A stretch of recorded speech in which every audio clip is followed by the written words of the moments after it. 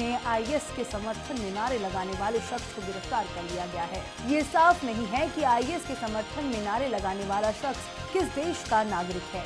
Police ने इससे जुड़ी जानकारी साझा करने फ़िलहाल मना कर दिया है। ये विमान करीब सुबह चार से पाँच बजे जैसे ही दुबई से रवाना हुआ, थोड़ी देर बाद ही इस मुसाफिर ने आईएस के समर्थन में नारे लगाने शुरू कर दिए। क्रू मेंबर तुरंत हरकत में आया और फ़्लाइट को मुंबई डाइवर्ट किया गया। इसकी इमरजेंसी लैंडिंग कराई गई। आईएस के समर्थन में नारे लगाने वाले शख्स को गिरफ़्तार करने और विमान की पुख्ता जाँच के बाद मुंबई से कोची के लिए रवाना कर दिया गया है। विमान में 20 से ज़्यादा यात्री सवार थे। इलाहाबाद हाईकोर्ट की लखनऊ बेंच ने दयाशंकर की एफआईआर खारिज करने की याचिका खारिज कर दी है। अब इस मामले में 8 अगस्त को सुनवाई होगी। दयाशंकर ने गिरफ्तारी से बचने और एफआईआर खारिज करने के लिए इलाहाबाद हाईकोर्ट की लखनऊ बेंच में याचिका दायर की थी, जिस पर आज फैसला होना था। यूपी पुलिस दयाशंकर सिंह की तलाश कर रही है। लखनऊ की सीजेएम कोर्ट ने दयाशंकर सिंह के खिलाफ गिरफ्तारी वारंट जारी किया है। दयाशंकर सिंह ने मायावती को गाली दी थी। उनके ज़िले बलिया सहित कई जगहों पर छापेमारी हो रही है। राज्यसभा में कार्रवाई की शुरुआत में ही दलित अत्याचार का मुद्दा उठा, जिसके बाद सदन में हंगामा शुरू हो गया। उधर लोकसभा की शुरुआत भी शोरगुल के साथ हुई। विपक्ष हंगामे के कारण लोकसभा की कार्रवाई को तीसरी बार दो बजे तक के लिए स्थगित कर दिया गया। इससे पहले राज्यसभा में भी दलितों के मुद्दे पर हंगामे के बाद कार्रवाई 12 बजे तक के लिए स्थगित की गई। ऊपरी सदन में इसके साथ ही आधार कार्ड की अनिवार्यता को लेकर भी विरोध दर्ज किया। सपा और तृणमूल ने आधार को अनिवार्य नहीं बनाने की मांग की। जिसके बाद कांग्रेस नेता राजीव शुक्ला ने भी उनका समर्थन किया। मान ने कहा कि मैंने कोई गलती नहीं की है, मामले को बंद किया जाए। मान ने पाँच पेजों के लेटर में जवाब दिया है। कमेटी ने लोकसभा स्पीकर को जवाब सौंप दिया है और मान को कमेटी के सामने पेश होने का निर्देश दिया है। भगवंत मान को गुरुवार को तीन बजे तक जाँच कमेटी के सामने पेश होना होगा। आप सांसद के इस मामले की सुनवाई नौ सदस्यीय जाँच कमेटी कर रही है। जाँच कमेटी की पिछली बैठक में बीजेपी सांसद किरित सोमैया ने माना कि भगवंत मान की इस हरकत से सांसद की सुरक्षा से खिलवाड़ हुआ है। बैठक में दिल्ली पुलिस के कमिश्नर भी शामिल थे। हालाँकि उनके बयान पर कमेटी ने असंतोष जताया था। विकास नगर विधायक नव प्रभात और बद्रीनाथ विधायक राजेंद्र भंडारी रावत मंत्रिमंडल के नए सदस्य बने हैं। गुरुवार को राजभवन में दोनों ने पद और गोपनीयता की शपथ ली। मुख्यमंत्री ने कहा कि दोनों विधायकों के अनुभव का लाभ राज्य को मिलेगा। दोनों ही वरिष्ठ विधायक हैं और पूर्व में मंत्री पद की ज़िम्मेदारी संभाल चुके हैं। सूत्रों के अनुसार आज शाम तक मुख्यमंत्री मंत्रियों के कामकाज का बंटवारा भी कर सकते हैं। पूर्व मंत्री सुरेंद्र राकेश के निधन और हरक सिंह रावत के इस्तीफे के बाद राज्य मंत्रिमंडल में दो सीटें खाली हुई थी। मुख्यमंत्री हरीश रावत दोनों सीटों पर गढ़वाल क्षेत्र को प्रतिनिधित्व देने का संकेत पहले ही दे चुके थे। गौरतलब है कि गृह मंत्री का ये दौरा तब और अहम हो जाता है, जब कश्मीर में मौजूदा हालात को लेकर पाकिस्तान सरकार की ओर से काफ़ी उकसाने वाली बयान आ रहे हैं। भारत इस सम्मेलन में इसलिए भी हिस्सा ले रहा है क्योंकि अगर एक भी सदस्य इस बैठक में मौजूद नहीं होता है तो इसे रद्द कर दिया जाएगा। भारत नहीं चाहता कि पाकिस्तान को ऐसी कोई वजह हाथ में दी जाए और पड़ोसी देश को भारत की गंभीरता पर सवाल उठाने का मौका मिले। जानकारी के मुताबिक भारत इस बैठक में आतंकवाद के मुद्दे को उठाने वाला है, ताकि पाकिस्तान पर दबाव बनाया जा सके। सार्क बैठक में भारत ज़िंदा पकड़े गए आतंकियों की जानकारी भी साझा करेगा। पिछले साल नवंबर में सत्ता में आने के बाद नीतीश कुमार को पहली बार अपने विधायकों की तरफ़ से विरोध के स्वर झेलने को मिल रहे हैं। शुक्रवार से शुरू होने वाले बिहार विधानसभा सत्र में इस विधेयक को पेश किया जाएगा।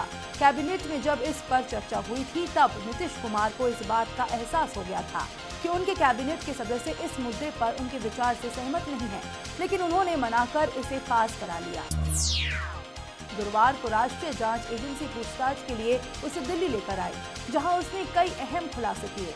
बताया जाता है कि पूछताछ में बहादुर अली ने साफ़ शब्दों में कहा कि वह सीमा पार से आया है और लाहौर का रहने वाला है। उसने अपनी उम्र 21 साल बताई है। उसे पूछताछ अभी भी जारी है। केंद्रीय मंत्री जितेंद्र सिंह ने कहा कि जम्मू कश्मीर समेत भारत के अन्य हिस्सों में आतंकवादी घटनाओं के पीछे पाकिस्तान का हाथ है।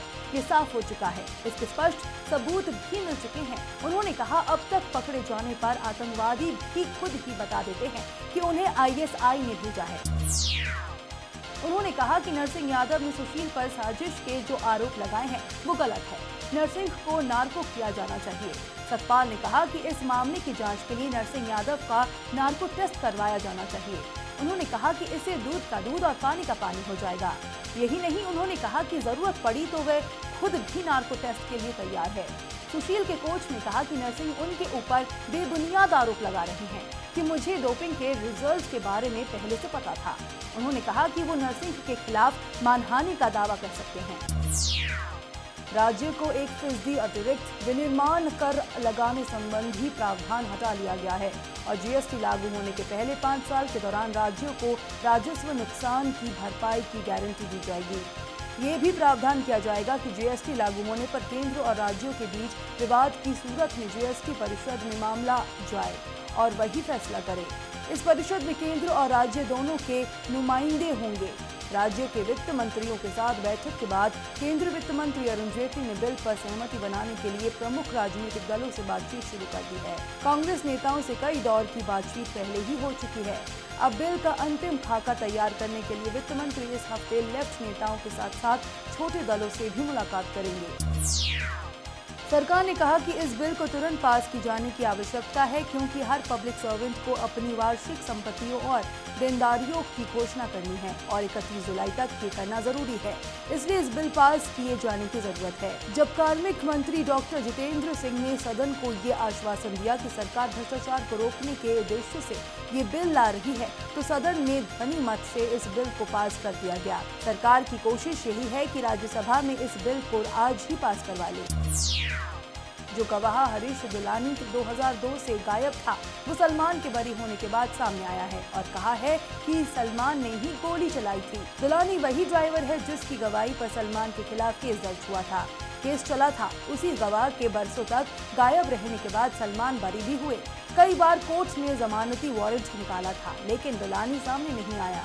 चिंगार और शिकार मामले के अहम गवाह हरीश दुलानी का खुलासा अभिनेता सलमान खान पर भारी पड़ सकता है। दुलानी ने कहा है कि उन्हें कोर्ट में गायब बताया गया, जबकि वे कहीं नहीं गए। सलमान को बचाने के लिए उन्हें गवाही के लिए ही नहीं बुलाया। हाफिज ने कहा है कि कश्मीर में हुए विरोध मार्च की अगुवाई लश्कर का एक कमांडर कर रहा था। हमेशा खुद को लश्कर तैयबा से अलग बताने वाले हाफिज ने 26 ग्यारह हमलों के बाद पहली बार आतंकी संगठन के बारे में सार्वजनिक तौर पर कुछ कहा है। पाकिस्तान समेत दुनिया भर में लश्कर के बैन होने की वजह से हाफिज सईद हमेशा जमात और दावा को खुद का संगठन बताते हुए खुले तौर पर लश्कर से कनेक्शन होने की बात से इनकार करता रहा है। हाफिज के बयान से ये साबित हो गया है कि बीते दो दिनों से पाकिस्तान सरकार ने कश्मीर में भड़की हिंसा को और बढ़ाने की कोशिश की है और इसे सिविल राइट से जोड़कर फ़ायदा उठाने की भी कोशिश कर रही है। सत्ताधारी आम आदमी के विधायकों पर गिरिराज को पार्टी के नेता केजरीवाल ने साजिश करार दिया। दिल्ली की जनता के नाम संदेश में केजरीवाल ने कहा कि पिछले कुछ दिनों से आम आदमी पार्टी के ऊपर दमन चक्र चलाया जा रहा है। कुचेलने की कोशिश की जा रही है। हमारे दस विधायकों को गिरफ़्तार कर चुके हैं और एक विधायक के घर पर रेड करवाई गई है। इतना ही नहीं, केजरीवाल ने मोदी सरकार पर खुला हमला बोलते हुए कहा है कि हमारे इक्कीस विधायकों को झूठा सच्चा ऑफ़िस ऑफ़ प्रॉफिट कहकर अयोग्य साबित करने की कोशिश कोशिश की है और इन्होंने हमारे एक सांसद को सस्पेंड कर दिया।